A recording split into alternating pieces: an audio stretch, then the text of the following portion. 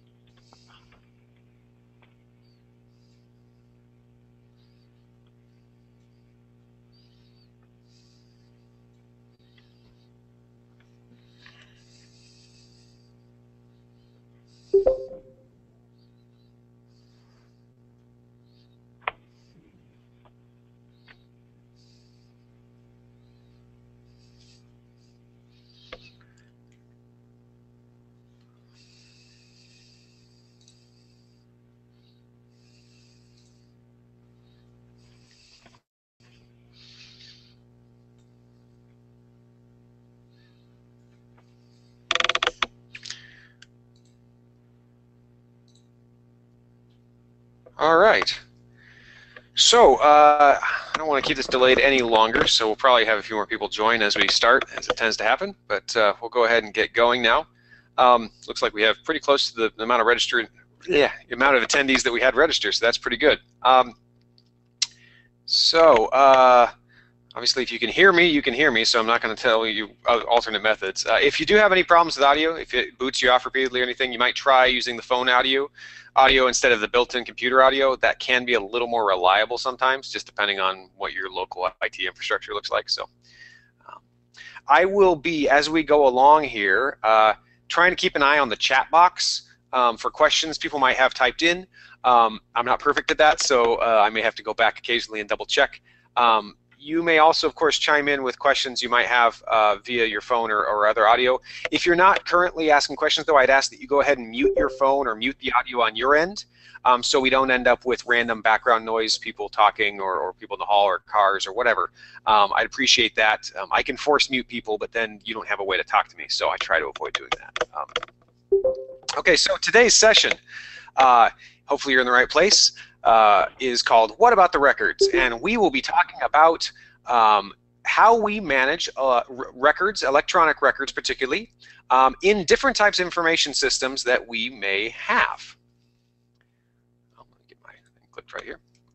So first of all, uh, who, who am I? Who's talking to you? So uh, my name's Kristopher Stenson. Um, for those of you who may not have heard of me or met me before, um, I work for the Oregon State Archives. My role here is as the administrator of our statewide electronic records management system, um, or ORMS, the Oregon Records Management Solution. Uh, that's not necessarily what we're talking about today, but that's that's my main role here.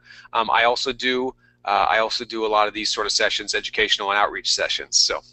Um, so this is a this is one that I debuted back in October, and this will be the third time we've done it. So, I guess the second time for the state alone. We did it for a, a national audience once as well. So, okay, so this is kind of, uh, I want to outline sort of where the environment we find ourselves in and why, why this presentation in particular actually has some importance. Um, so we find that records live in many different types of information systems.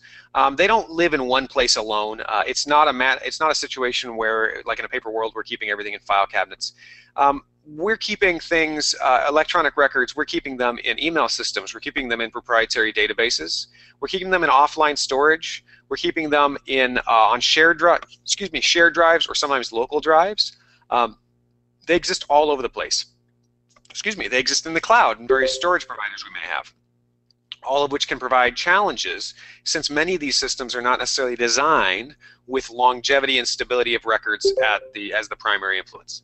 Um, so these systems aren't necessarily designed for or intended for long-term record storage. Um, unlike an electronic records management system, which I will mention later, which is a type of software that is specifically designed to manage records, um, a lot of these other things, think your finance systems, uh, uh, building code systems, permitting systems, uh, HR payroll systems, Um, and he works with student records or medical records, those sort of things. All have sort of specialized software niches that contain records but aren't necessarily designed as a long-term repository. Um, often what we found traditionally is that decisions about procuring or maintaining or adapting information systems is typically driven by budget and other administrative needs, not records management concerns. We don't tend to think about records management until it's time to do something with the records, which, um, as I'm going to sort of show, is often a little bit too late. So uh, this is sort of the environment we find ourselves in. So the first section, we're going to talk a couple different sections. First one, I'm going to talk about questions and answers, or questions mostly, we should be asking when we are looking at developing a new software system or purchasing one. And this could be any type of those systems I mentioned, you know, any sort of new information system uh, which may be used uh, in the course of business, in course of public work particularly. So the first question, this is going to be a sequence of questions that we'll sort of seek to lay out the sort of questions that you should be asking um, before you jump into any decision regarding software. Um, so first thing we want to ask is what records will reside in the system? Of course, we need to know what's going to be in there so we can make an informed decision about how we should treat it. Um, will the software be used to store and access records? Uh, so will this be our primary storage environment? This is, is this where we are going to be going for records or is it simply a pass-through system? Is it a, a web portal where people interact with but actually goes somewhere else? So we do have to think about the records management implications, and we need to make sure we are checking our uh, local rules uh, and laws regarding what you are allowed to do. So specifically, um, in the Oregon Administrative Rules, one, Section 166, which is the section for the archives, under Division 17, which was uh, revised heavily in 2015, um, that, excuse me, in 2016. In 2016, we revised it heavily. Um, and in that are requirements for systems that are going to maintain records, particularly those that are permanent or near permanent. So records of 100 or your excuse me 100 or more year retention. There are requirements regarding the sort of software that has to be used. Um, I'm not going to recite these things for you in this presentation, but I'm just sort of laying out where you should be looking. Um, Second question, so once we've identified uh, that records will be stored in there, how long will they be kept in the system? Because this is another thing that may dictate your decisions. So can the system, in fact, meet the full retention requirements of the records that are going to be stored in there? So um, if we are dealing with a system that handles mainly, um, say, short-term payroll records, which are you know six years for most of them, six years past the year in which they were generated, um, those are relatively short-term, and the system can probably maintain them for that period of time uh, safely enough. You know, we aren't really concerned about long-term access. Uh, this is purely a short-term system. So that would be an example of, uh, we could say, yeah, this system will be designed to do that. We're good there. Um, however, if uh, if that system cannot meet those full retention requirements, how are we going to export records uh, and the metadata surrounding them, so the information we've gathered around them, the notes, uh, any sort of contextual information we've attached to those records, how can we export that so we can store it elsewhere? So again, this is something that you always want to be asking a potential vendor or a developer before the software is decided. You need to be looking at them going, okay, we need to uh, we need to make sure we're answering these questions and we don't lock things up. Um, what's the capacity for storage in the system is the next question. Uh, because while many things are designed with a sort of a fixed universe, and they say, oh, we can expand upon this. Well, how much? Because uh, you can, in some types of uh, information systems tack on extra storage on the back end. But at a certain point, you may see performance degradation. So the software, the database overlaying that storage can only handle so much, for example, until it starts to bog down. So these are at limits you want to know ahead of time. You want to know what the theoretical or practical limits of a system are, and then look at what we're keeping in there so you can identify, you know, when are we going to hit that? Are we going to hit that maximum in the projected life of this system? Or are we expecting, you know, we'd have to be using it for 20 odd years for us to hit that, and we're not going to use it for that long, probably, that sort of thing. So that's the question to ask. Um, want to make sure over retention of too much content in there can definitely uh, uh, detrimentally affect how systems perform. It's not just a matter of adding more storage. So the next big question beyond storage is how will I access the records in this system? So we do need to think about how records will be searched and used. Um, so you need to think about aspects of how do my employees, how do the people working in the system need to access information? Um, how will they provide access to other parties? Do I need to be able to share with external users somehow? Is that something built in or are we going to be pulling copies out constantly? Is there some sort of interface with another system we should consider? Um, are you going to be able to search across content or are just are you just going to browse for your records like you'd think of in a normal uh, directory structure? So if you think about a shared drive or, or you're in your own computer drive where you have folders and then folders within those and you kind of browse down but the searchability is pretty pretty flat on that. Um, that can work okay if you know exactly where your stuff is stored and it's well organized and you don't have too much of it.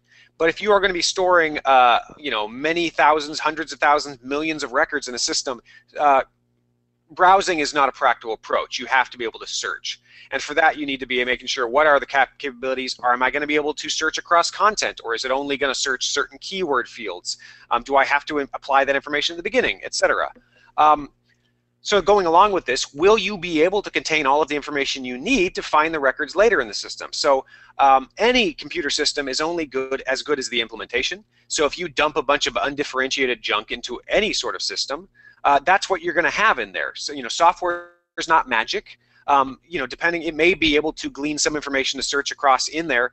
But generally speaking, if you have poorly indexed, poorly labeled, poorly titled, undifferentiated information that you dump into some place, most software, I would say, dare say almost all software, it's not going to be able to fix that for you. You need to do some level of organization uh, from the front if you want that to be usable in a practical way. And really, if you have a shiny new system you're launching, you really don't want to muck it up with a bunch of junk anyways. So remember, they can't do the job for you if you don't give it a head start. Um, so why do we worry so much about access? Well, it's because these days we deal with a lot of public records requests, and this is a critical component of any information system that's going to contain records because you know at some point you're going to get somebody asking to see stuff in it even if, for example, your team only accesses information in a short period of time and then a lot of it just sits there, or we only ever search by these tracking numbers, we don't really do searches on other subjects or things like that. Yes, but might you have to do one of those searches later on? Entirely possible. So you might get a sub public information request that says, I want to see you know every transaction relating to such and such organization and these individuals between these time ranges. So you better answer ask that question before you purchase something. Will I be able to construct a search like that? Because if you can't, that means that's going to be manual browsing work. You're going to have to do a bl blunt search and then dig, which takes a lot of time and it takes money. So these are things you want to make sure you are covering beforehand. These questions uh, may be uncomfortable at times, because, and I will tell you right now, that a software vendor will often, even the reputable ones, I'm not trying to bag on them, but they will try to glide over things that they don't think you need or that their system can't do. Um, so it behooves you to answer, ask the question, the hard questions, uh, and not every software system has to be able to do everything, but you need a way to do it. So if you don't have another mechanism that will allow you to do these searches, um, you need the software to, because I can tell you right now, uh, manual uh, digging through is not a practical solution long term. So that is something you really want to be asking up front. So having identified that we're going to be storing some records in there and that we're going to need to access them somehow, the next big question is how are we going to secure these records? So we know as public entities that a vast majority of what we do is public. However, not every component of every record is public uh, right away, and not to everyone. So we may deal with sensitive information. We know this when we deal with employee files. You may have background check information. You may have social security numbers. You may have financial information. You have, may have medical records. If you deal with students, you may have, of course, student records which are protected. Um, all of these things, if you deal with any sort of law enforcement, of course, there's lots of protected information in there. so you need to be concerned about securing that information to make sure that people that aren't supposed to see it don't accidentally see it. And for even records that aren't super high restriction, you may have reasons that you want to restrict certain types of records internally from other groups. For example, HR records probably shouldn't be viewable by the entire agency. You probably shouldn't be able to have somebody go and accidentally look up their own files or somebody else's. So you need to be able to apply security. So part of the questions we ask is who would be able to add records to this sort of system? Who would be able to modify those records and who can delete the content. So that might deal with logins and user access. It might deal with internal controls and security groups. Um, we need to make sure that you have rules in there to protect the records from unauthorized uh, alteration and particularly with the authenticity of records. And by authenticity in this case, I mean that they are what they purport to be, uh, that they reflect an accurate accounting of what they are supposed to. So you want to make sure there's never a question about whether or not something is real because it wasn't well managed. So for example, if I take uh, if I take a a a timesheet, sure a timesheet, that's not a sensitive record particularly, but let's just take a timesheet. Um, and I have it within a system that requires a login that only certain employees can get into. The system tracks that information and records it in the database, and there's lots of information surrounding it to say this information was here and this is how long it's been here. shows when it was added and deleted, etc. If I take that same timesheet and I say print it out into a PDF or actually into a piece of paper for that matter, and then just shove it somewhere, stick it on a drive somewhere or a, a file cabinet that's uncontrolled, that you know just somewhere or in my desk. Do we really trust that record? Somebody asks to see it later on. You hand over that record and they say, okay, well, do we have any information about how it was kept? Do we know that this thing was secure the whole time it was kept? Who had their hands on it? You know, it's kind of the idea of an email that appears out of nowhere with no provenance, with no, you know, paper trail, so to speak, behind it, no people involved, uh, raises some questions about whether or not that is in fact what it's purporting to be. So this is important for us to, to show the authenticity. So we talk about we really want rules in place that, that protect these records for that. Um, and we want to be able to apply different levels of access. Um, now, if this is a fairly limited software system, like for example, it's all it's doing is payroll, you may only have three people that have access to it. So in that case, you may not need different levels for all those folks. But if this is software that has more, you know, more complexity to it, you want to find out if you can apply different levels, security groups, so to speak. And then who's responsible for for maintaining the security and applying it? Uh, is it you, as in the department implementing it? Is it your internal IT support? Do you have outside consultants or other folks that will be responsible for this? These are other questions that are important. So if you're contracting with a vendor, are they the ones handling this? Who who's ultimately in charge of the security parameters? Who has access to them, and who is, is responsible if there is a problem with them? So we've dealt with uh, we've dealt with storing, we've dealt with accessing, we've dealt with securing. So the next big thing, preserving. So this is my my fancy graphic I've created for uh, record preserves. Um, not included is the day and a half worth of sweaty, backbreaking labor required to jar said records. Um, anybody that's uh, made applesauce or, or jarred soup understands what I'm talking about. Um, so preserving our records is something that uh, may not be necessarily critical for all records. So I mentioned earlier, if you've got six-year records, preservation is not your top priority. You know, they can live for six years pretty much anywhere, and they'll be relatively safe. Um, but we have lots of records that have to be kept for decades or more, many decades. Some of them are permanent. We do have to think about pres preserving these over time. Um, so any file is only as good as the system surrounding it. So, for example, I could take a file that is pristine, um, you know, in every other way, but it was written in WordStar in 1992. Uh, that file may not have been altered, it may not have been corrupted or damaged in any way. But do you have software that can even interpret that in any re real way anymore? Probably not. It would take a, long, a long chain of digging through software to find something that could read something that you could do, you know, and you'd probably lose information along the way. That's an example of file obsolescence, file format obsolescence. So this is something we have to monitor over time. The same goes for physical storage. So whenever people talk about, well, we've got a disk that'll last for three decades, well, that's great, but you aren't going to have anything to read that disk on, so that's not really the issue. We need to make sure nothing sits on the same for you know the same media forever, and so it's all about keeping and managing it uh, over time. Specifically speaking about files, since we're talking about software systems here, we do need to make sure if we have to keep things for many decades, that we are have a way to monitor these files for uh, for impending obsolescence so we need to know, for example, uh, yeah, it looks like Microsoft's withdrawing support for that file format. Do we have anything in that format so we can identify it, convert it over what's called migration, uh, migrate it to a new format so it remains usable?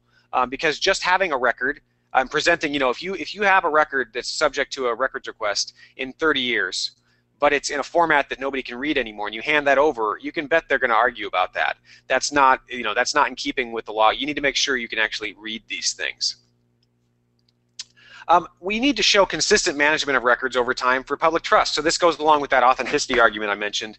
You want to show unbroken custody. You want to show that this thing has been controlled through its whole life and doesn't have some big gray area for a decade in the middle where it was somewhere um, that you know can create some pretty significant questions about how you're managing your records and can definitely damage public trust. Um, so speaking about, since we're talking about systems that may maintain these records, so within these systems, we need to ask the question, can we identify the file types? Does it allow us to identify file types and convert them when needed?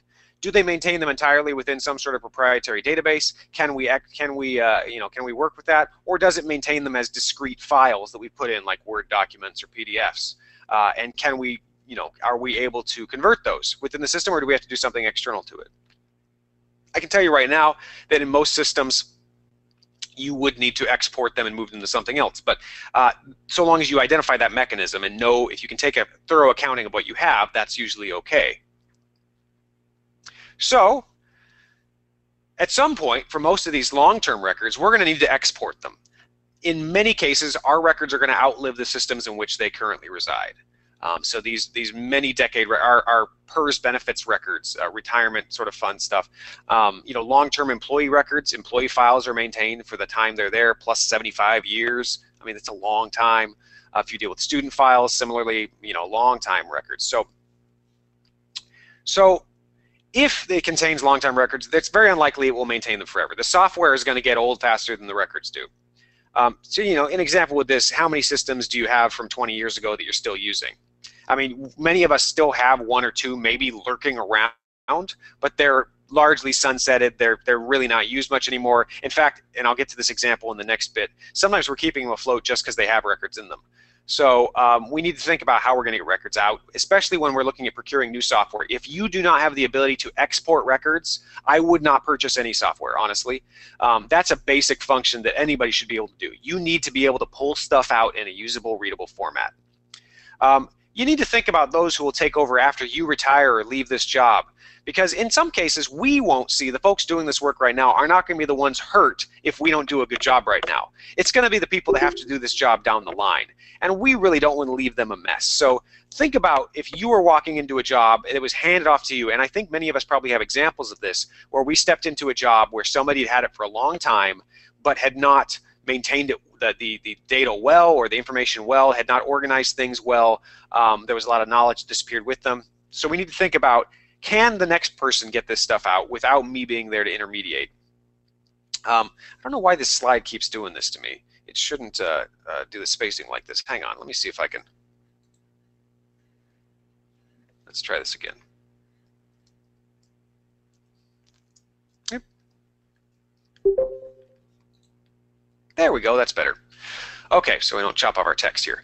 Um, so when we need to export these records, will we be able to, another question to ask, will we be able to, for example, uh, extract information surrounding the records or just the records themselves? Because uh, as records live in a system, as I've noted, uh, you know, they build up information. You've added notes, you've added contextual information to them over time. You don't want to lose all of that when you export it. So can you get that metadata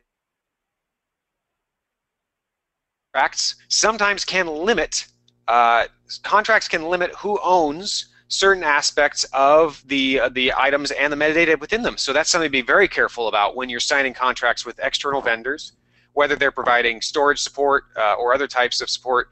Uh, making sure you have clear ownership of all of the data you put in there, and it is not uh, restricted from you in any way. Um, you need to think about also that in many cases, if you have software and you maintain it for a long time, the software developer may not be around in the future. So you may not be able to count on them for direct support, and you don't want to be playing that game. So uh, definitely want to think about being able to export those records before uh, that situation arises. Um, generally speaking, you want to plan for migration about every 10 years as a benchmark. Now, that does not mean every single record is going to need to be converted to a new format every 10 years. But that is a rough benchmark based upon how progress tends to go in terms of file formats and when they when they take over from others and the general average life of, of software systems. So if you aim for 10-year benchmark, maybe it ends up being eight years, maybe it ends up being 15. Uh, but uh, that's generally what you should be planning for uh, with in terms of being able to pull records out uh, for storage in another environment. Um, certainly in an active system, usually there's not a compelling reason to maintain records, long-term records in that system for more than that 10 years or so. They're unlikely to be active anymore, and they really are probably better served in a more stable storage environment.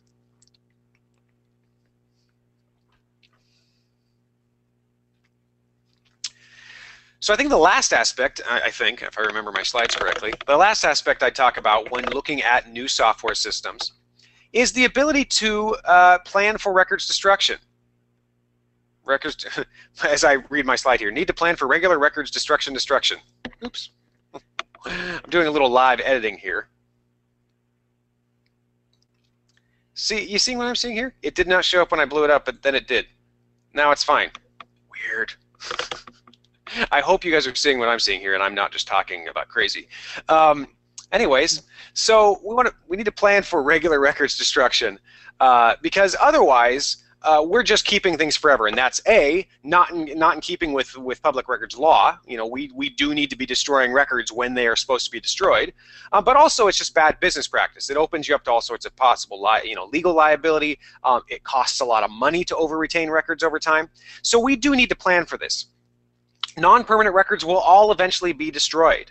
Does the system you're using, or excuse me, in this case, does the system you're looking at procuring, looking at using, allow you to do destruction of specific records. And I don't mean wiping the whole database. I mean selectively saying this batch of records needs to go away while these are still there. Um, this can be very challenging, particularly when we're talking about interrelated databases. This may not be a possibility in all types of system, which is a, a valid answer. It's not ideal, but something we need to contend with. So if you have a lot of complex databases linking together, the records might not exist as, as independent discrete files. They may all kind of share information, which makes it a lot more challenging to selectively purge data out of that system. Um, so if you the system does allow destruction of specific records, can it destroy them in bulk? So could you say, this five, these 5,000 records I've identified, please destroy now? Or do you have to manually go in and delete them out of the system one at a time, which is not a practical option. So this is something to ask. Do we have the ability to identify this stuff um, when we, you know, maybe the system doesn't track retention. Most systems won't unless they are a records management system. Um, but can you at least say, if you know these are six-year records, um, do you have the ability to go in there and say everything that is more than six years old, um, we're going to purge, even if the system didn't tell you that, you know. So uh, can you do that in bulk, or do you have to do it one at a time? Because if it's one at a time, that's not a practical solution. Uh, and so I really would be, I'd be wary about that if you can, do not have the ability to go and manage records in bulk. Um, if the system can do deletion based upon rules you've established, does it automate that deletion? Uh, and it does it give you reports for auditing purposes? Um, is there a human oversight in the process? So I am leery also of any sort of automated destruction. You do want human review, even if it's just to say, look at the thing, look at the read out the report and say, yep, that looks good, go ahead and proceed. That's great. But you really don't want a system that's going to just, you know, you set a rule and it just churns them, purges them automatically uh, without some oversight because there's always a possibility of people have made mistakes, they've misfiled things, they put stuff in the wrong place, they've mislabeled something. You want a second review on that because once those records are gone, they're gone. Uh, and you don't want to be playing that game. Um, over retention of records, certainly, like I mentioned, is problematic. It can be costly and open you up to a lot of liability. But under retention of records it can have much more dramatic short-term effects as well. So you want to make sure you are, are definitely making sure you're erring on the side of caution there um, and not letting a system just purge. And for this, I don't necessarily mean automatic purging of backups or you know certain systems will recycle after a certain period of time. Um, I'm speaking more about if you have the main primary records and you are purging the primary copies from the system, not the not the redundant backups that are run regularly.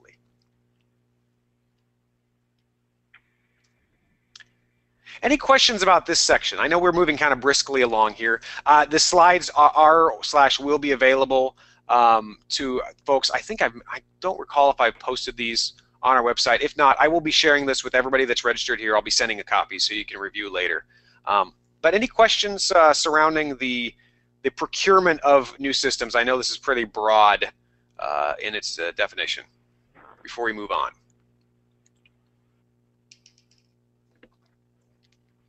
Hearing none? Okay.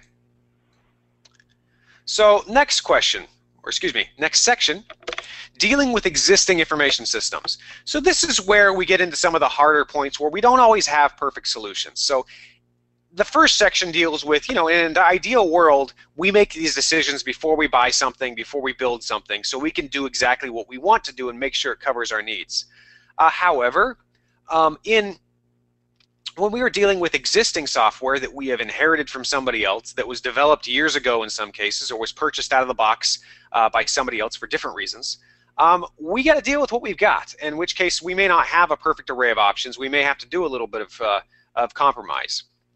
So I've got this system, uh, is, is the phrase we run across here. So legacy systems, as they're referred to in general, older systems uh, carried over from previous groups, often present all sorts of records management challenges. So we lack, in many cases, contextual metadata. What I mean by this is that we may have a system that contains records with almost no information surrounding them about where they came from, when they were put in, when they're, how long they're supposed to be kept, what their security risks are, all these things. You may just have data with no rules applied to it. Um, very difficult to reconstruct later on. Um, you're very likely to have intermingled record and non-record content. You're going to have a mishmash of all sorts of things typically a lot of these old systems have very poor or no export functionality. They the records may in fact be locked up within the software. Um, you often will find software layers between you and the records. So the only way to access these records is to go through the software. And if you were to somehow extract the, the content from the system, it would be unreadable without that software to read it. So very proprietary sort of arrangements, which we run across particularly in older systems. You may run across records that exist only virtually. And by that is, is referring back to my previous example of the, uh, the relational database model where instead of, say, a PDF and a PDF and a PDF sitting there basically, you have a large table, many tables of data elements containing names and addresses and uh, employee numbers and salary history or whatever. I'm just throwing out different data points. That, when you ask the system to show me John Doe's uh, employee record, it's going to query and pull all of the things that are tied to him from all those different tables and present something to me that looks like a record. But they don't actually exist until you ask for them. So they're all intermingled in the system, creating a real headache for managing them. Um, retention in older systems is almost never considered. Uh, these systems, in many cases, were designed without a real exit plan. They're just a bunch of stuff in there for as long as you want to keep it in there, but never really a plan. And, and a shocking amount of software these days still is designed with the idea that you can just cram stuff in there forever. Um, this is sort of the Googleization of the world. You know, the idea is that you can just store everything. You know, they, we, we have a, a popular mindset that you can just cram more and more storage and it's cheap. Well, for a massive conglomerate, yeah, it's cheap to store tons of data, especially when you're, you know, mining it for your own purposes. Uh, but for those of us that do not have limitless resources and endless amounts of storage and computer power to throw at it, um, it is not ideal uh, to just maintain ever-growing piles of stuff. So we need to do a little hard triage here. We're going to have to make some tough decisions. We're going to have to make some bulk rules based upon the best thing we can do. And we're all going to acknowledge that it's not going to be perfect and it's okay. Um, nobody is blameless here. Nobody is, uh, but nobody is super guilty. We're just all, we kind of all stumbled into this on ourselves. We're, we're doing the best we can. So, first of all, we have to ask some questions. How much life is left in the system we're looking at? If this is software that was built five years ago or purchased five years ago, probably quite a bit of life left, and it may actually be pretty easy to use. If this is, however, a custom-built database that was handcrafted in 1997 and has been intermittently updated ever since, but nobody's done anything to it since 2012, uh, we are in for some pain because there's not much life left in that system. It's probably well past its original withdrawal date, um, and we need to think hard about it. Um, what records are stored in the system? Of course, just like on the first section, we need to think about what's going to be in there because again, if these are short-term records, it's much less of an issue than if these are long-term records. Then we ask ourselves, is the life of the records remaining in the system longer than the remaining life of the system? So system is due to withdraw in two years. What are the records in there? If we've got anything more than two-year records from this point forward, we got a problem. So you can see this is in most cases going to be the situation where the records are going to outlive the system at some point. And then, is there an export function? Next question. And how complete is it? So is this, again, going to give you uh, a pile of fi files with no context? I've seen some people that, you know, we when we created the content, it went into the system, it assigned the records a name associated with an internal table that when you extract the records, there's it means nothing. It's just a string of random digits and there's no other information on the files. That is not helpful. So uh, that's what we have to look at. Can we export? How can we export? Is it usable? You know, what do we need to do uh, to get this usable? Uh, next thing to do is, of course, look at our, our, our legal compliance. Um, consult again those OAR 166 Division 17 rules regarding electronic records management. Um, are we uh, allowed, are we legally allowed to maintain records in the system long term? So say you've still got life left in the system. It could be, however, that you've got some very long-term records, 100-year or more records, that you legally cannot maintain in there long-term. You need to pull them out. Um, furthermore, are the records kept in an acceptable file format? Because there are standards for that as well for long-term storage of records. So that's something in those rules to look at because, um, yes, while records that exist only virtually in a relatively short to medium term period, that's acceptable, at some point they need to be exported into a static format that can be uh, maintained. Do I have a question? No? Okay. Uh, sorry, I heard a little voice. Um, so are we able to get these into acceptable format uh, at some point? Um, State agencies, so I know I probably have a mishmash of state and local and county and everything else in this uh, session here. State agencies are legally required to destroy records at their full retention period. So for state agencies, the retention schedule is a minimum and a maximum time period. Now, there is some wiggle room in there because, of course, nobody is doing daily destructions as records expire on a daily basis. Typically, people do this on an annual basis. So that means, yes, you're, retain you're over retaining some records for about a year. You know, a January 1st record, uh, you know, might be over retained by a full year before you actually get around destroying it. And there may be other uh, situations where, because of technology limitations, you can't do purges more frequently than you than, than a certain amount, or in order to handle things, you're dealing with them in bulk, and so you're going to over retain some, but there is still a terminal date. The key point, so there's wiggle room there, but the key point here is that you do not have things just forever. There, there will be an endpoint. For those of you at local or other types of entities besides state entities, um, your retention periods are a minimum. However, I, I really want everybody to follow the same spirit of the rule, even if it's not a hard requirement for you, uh, because it is foolhardy to just plan to just keep it all forever, as I think I've mentioned a bunch of times, and I probably will a little bit more. So we have a few, a couple scenarios here. Now remember, our scenario is we're dealing with old system records uh, that maybe have to be kept for longer. Um, so scenario number one, not our ideal choice, but one we might find ourselves in. First of all, records are either short term, so there's not really an issue, or there's significant barriers to exporting them. So this is a proprietary system that was never built with an export function. It were, you know, the developers are long gone. We don't have a budget for it anymore. The software company went out of business. Literally, there's no one to help us get this stuff out. They're trapped. Okay. Uh, can we purge from this system selectively? Great. If you can, delete the records from the system as appropriate until eventually there's nothing left. You can just sort of purge them through so you limit, limit your liability over time. Um, when the system uh, reaches end of life, uh, you need you're going to have to keep it in the float in the background until all all of the contents of that system are at full retention. That's not a pretty scenario, but it is one I've seen happen in plenty of places where you have a legacy system that nobody really gets into anymore except for the rare occasions when you need that data running on one older server with maybe one workstation connected to it. Um, the idea that it's there and you're, you know, okay, well, we've got 20 more years of retention and records in those things, even though we aren't using that software anymore. So that thing's going to have to be kept afloat for 20 years to meet that retention period because just turning it off and killing all those records is not an acceptable alternative.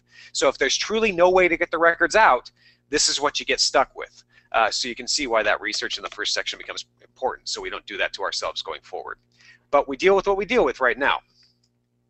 Scenario number two, this is the preferred one. Um, so again, records have significant retention or they will outlive the system. So in this context, uh, maybe they only have to be kept for six or seven more years, but the system is dead today. Like we need to get rid of it. So we're going to have to export it anyways. Or, or they're going to be kept for many decades, and regardless of the system we're in, we're going to have to export them. Um, so you want to identify the logical export point in the system. So if this is still an actively used system, for example, um, at what point in the record life cycle does it make sense to pull these things out? At what point have we fulfilled their active use, put the data in, use them for what we're going to use them for? We don't really need these records in that active system anymore. We can move them into a semi-active or inactive state for the remainder of their retention period. Um, so we're going to stick them in a place where they'll be safe. We can get to them if we need to, but we don't need them gumming up the active system anymore. Um, so we need to identify the logical export point. Uh, then we need to go ahead and pull out the records and the metadata surrounding them when at all possible. So again, we don't have undifferentiated junk. Now, if the records are fairly self-descriptive, they have a good title naming convention, you can export them and put them into directories that make sense, maybe a ton of metadata isn't necessary. But you do need to be aware of the retention periods, for example, or the security requirements, which would be counting as metadata as well. So whether that information is coming from the system you're pulling it out of, or you're able to pull it from somewhere else, you need to make sure that's accounted for. Um, you also need to decide whether you're going to duplicate the data so that you have a ready access copy in the active system and then the main definitive record copy for storage, or if you're going to move them entirely when they hit that semi-active point. That is going to be a practical consideration for you. Generally speaking, I advise against a lot of duplication of records because that increases the risk of hey, we did a purge on the records in the official copy, but turns out we forgot about all the copies we have in the active system still, so those records aren't actually gone. So we didn't actually destroy records. So I really encourage generally um, move rather than duplicate data. Um, if there is a need for having that data in the original system for a little bit longer, fine, but identify a point in which you will no longer want it. So if, for example, at five years, we move the records, we move a copy of the records to the storage system, we maintain a copy in the main active system for another three years as they are semi-active and we might need to get into them a little more. At the end of that three years, we purge from the active system and then we only have them in the old system. That would be an example of that. What we don't want to have happen is a scenario where we move a copy over to the old system and then maintain the other copy in the system forever uh, or until that system goes down because then again, we're not executing good records management.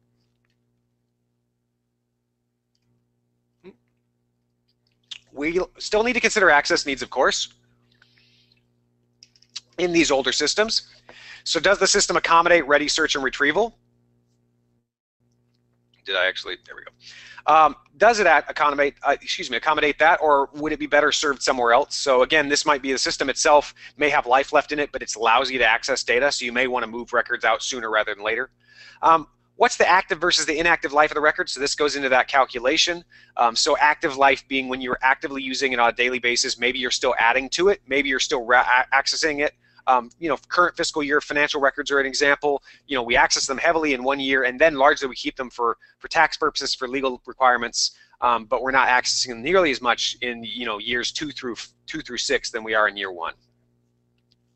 Um, do you have an alternative search method elsewhere? So again, um, can you do a search somewhere else that will help you retrieve these records, or do you need that active system to do the search for you? Um, so that's another thing you'll have to think about when you're planning the strategy for how we're going to maintain these things over time. So what do we do with our exported records? So say we've got our scenario number two, we've pulled the records out, excellent. Um, if we have records of greater, uh, sorry, of, of 100 years or more, they must be stored in a physical format or in an approved electronic records management system. So this is in those Division 17 rules. Um, it used to be you just had to maintain them in a physical format, that being microfilm or paper, and that was the way it was, or, or you know, film if it's an audio, you know, a physical medium of some sort, uh, video sort of stuff. Um, not the case anymore. You have an out, but for those records, you have to maintain them. If you're going to maintain them digitally, they must be maintained in an, in an electronic records management system that meets the Division 17 rules. And part of that is there's a petition process that gets sent to the archives um, to make sure that you are in an approved ERMS before you are allowed to uh, before you are allowed to store them solely in that that scenario. Um, with records of less than 100 years, the agency has a choice. They can frankly do whatever they want. They are promising to provide access to their records for their entire retention period, um, but we leave the methods up to them. Now, that said, it is very risky. Uh, it is very risky if they do not maintain them in some sort of proper records management system. Um, without a system of management, and I'm using this as a generic term now, a system of management being either software that does this for you, doing the maintenance, uh, the checking for obsolescence, the applying security and providing access, or or software does that for you, or you have a, a sequence of duties and responsibilities and training that accomplish this to some extent as well. Um, without that in place, uh, you're really taking a big risk because uh, it's highly unlikely these records will survive for the time they're necessary. So if if these are again 10-year records, you're probably okay. but if you have to keep these for 50 or 60 or 75 years, you better be treating them as if they were permanent. We made the hard requirement 100 year or more, but that's just because we needed a clean breaking point, and that made sense where we, you know, wanted to exert more authority. But if you have a 75 year record, that's essentially permanent for our purposes, for your purposes, what I mean. You know, you're going to have to keep it beyond anybody that's working there now, and possibly beyond the people that are going to take over for you you know, we're looking a couple generations worth of workers, so to speak. So uh, the risks are the same, and we're going to need to deal with them that way. So I've mentioned this a couple times. I'd like to introduce the concept of an electronic records management system to you for those that may not be familiar. Um, for this long-term back-end storage, um, an electronic records management system is a, this is not the dictionary definition. You will find very complicated definitions elsewhere, um, but that's not my goal here. It is a software system that allows for comprehensive manage, management of records. Um, it will allow you to organize your records, search for them, access them in various ways, apply security to, retention uh, rules to, and dispose of those that are not permanent records, all within the software. Um, it can help you automate a lot of routine tasks taking away the human element whenever possible. Um, it does these sort of systems can ensure accountability by applying uh, security rules, applying audit trails to everything. So the idea is that content that goes in there is tracked and managed. Nothing happens to it without there being a record of it. So again, there's our, our public trust. We always know what happened and when. Here in Oregon, that requirement for these things is it must meet the Department of Defense standard listed there, 5015.2. Um, it has to be in a system like that. Um, I do have a list of those systems, and I will include a link to it in the email I send you afterwards. Um, because if you are not in one of those systems, that is not approved uh, per our state uh, law. Um, there are not an infinite number of systems that meet that qualification. There are probably a dozen or a dozen or so different software systems currently in existence that meet that.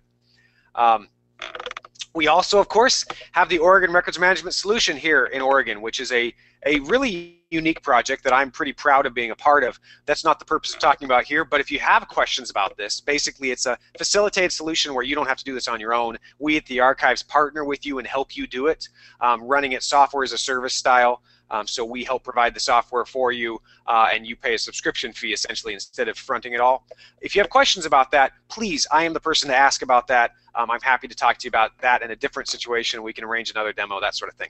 But uh, nonetheless, whatever system you're looking at, you need to make sure that it co covers your needs. Um, because for these long-term records, there's really no way to do this manually. You really have to have software to help you do it. Um, so last little bit here. Uh, I know this is a lot of information.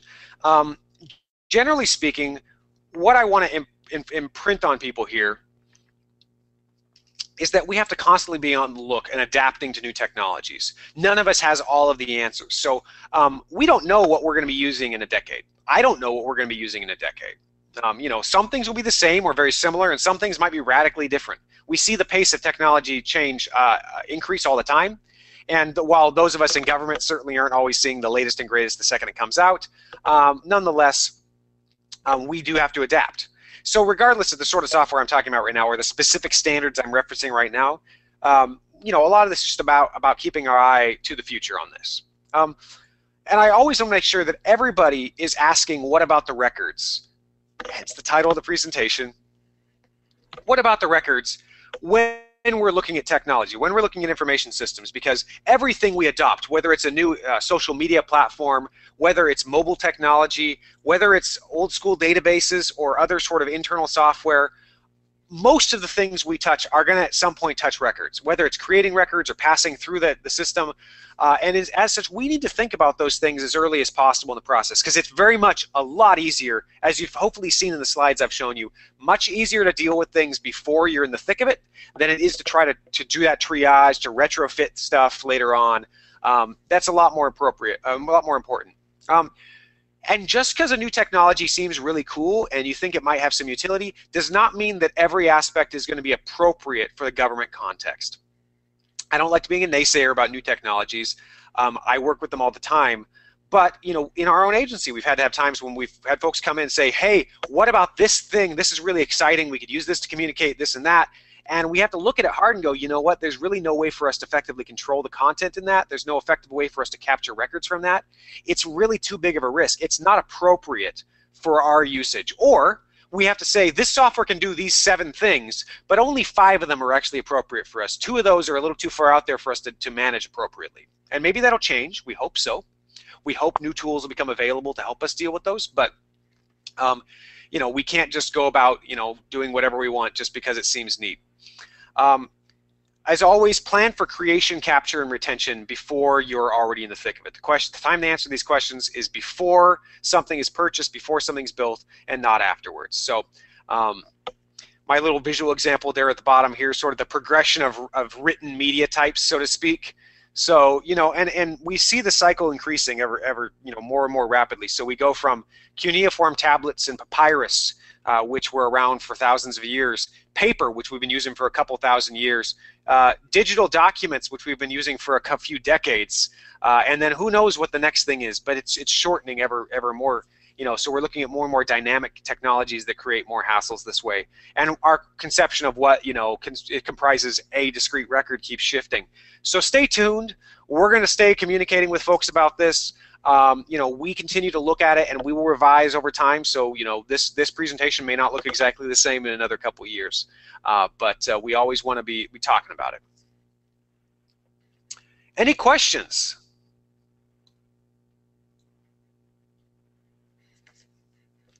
You can type them in the chat box if you'd like. I'm keeping an eye on that right now. If you'd like to chime in via audio, I'm, I'm all ears.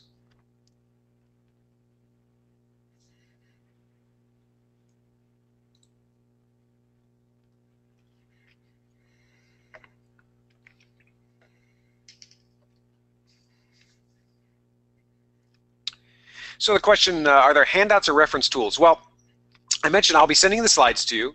I will also send you a list of, uh, I'm going, yes, I, so I will be emailing a list, uh, uh a, a, slides out to everybody that's on the registered list, um, as well as a the, um, the link to those DoD uh, certified systems.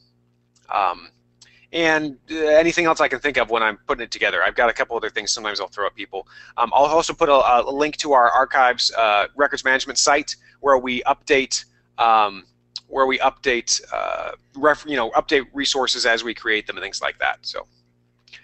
Um, yeah, am I the contact for help with respect to applying these concepts and suggestions to a particular software system? I'm as good as anyone. Um, so, you know, you can contact me since I'm the one talking here, um, and I'd be happy to advise. I mean, I'm not the definitive expert on all software, but I'd be happy to to help talk through your scenario, your particular case, and maybe uh, help you come with some solutions. Sure.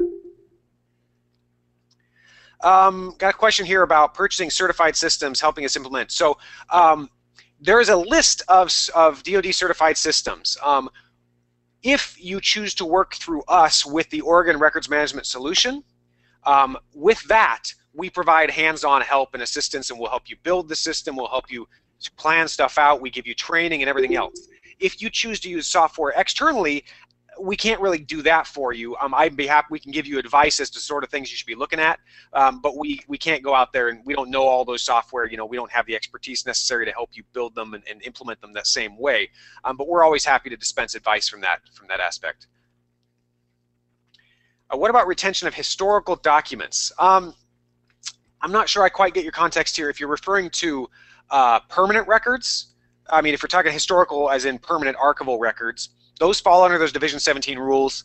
They you are allowed to maintain them in a digi digitally uh, digital format only, so long as they are within one of those DoD certified systems. Um, so that's the that's the exception there. If not, if you do not have a DoD certified system to maintain them within, they have to be kept within with a, a physical format of some sort, whether that's microfilm or paper.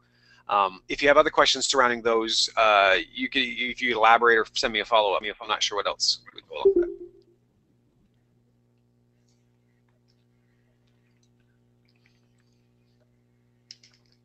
Yes, everybody will get a, a grab bag of various links and such afterwards, including the list.